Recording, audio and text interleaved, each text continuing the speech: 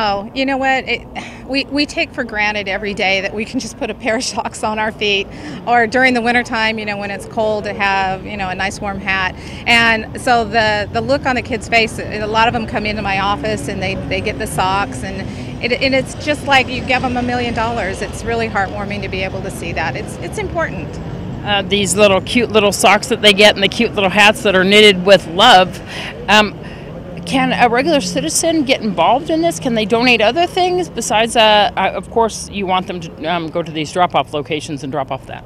Right, absolutely. Um, we collect things year round. Um, we do not collect used clothing and we do not do food um, at our offices. But what we will take are things like shampoos and soaps um, things to help out children just to keep them clean. Uh, boxes of detergent is something that has become really a big thing individual toilet paper, uh, washcloths, um, things, like I said, things that we take for granted every single day just to keep ourselves clean, that we will take those types of items and put them on our shelves, and boy, it, it goes out almost as fast as we can put them on.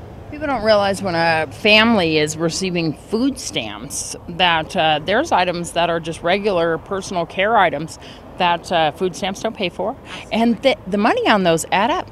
It really does. I mean, a box of a laundry detergent now can be well over $15 a box. And so it, it, comes down to basic needs. It's like, do I wash my clothes and send my kids to school with clean clothes, or do I feed them? What's more important?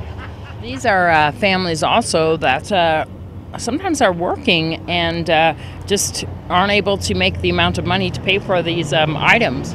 Right. You know, of course, this is not new information, but so many of our families have lost their homes, so they're in a double up, sometimes triple up situation. I just ran across a family that's got literally four families living in one three bedroom house.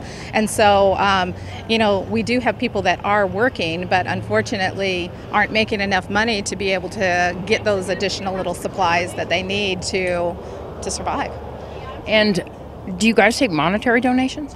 We have a uh, homeless activity fund where we will accept um, monetary donations, um, and that is a direct fund. It's a dedicated fund that is only used to go to our, our children that have been identified as homeless. Um, the other items that are donated, I, when anybody calls me up and says, I'd like to make a donation, the first question I ask them is, Do you want it to go directly just to homeless children, or do you need it to any child in need?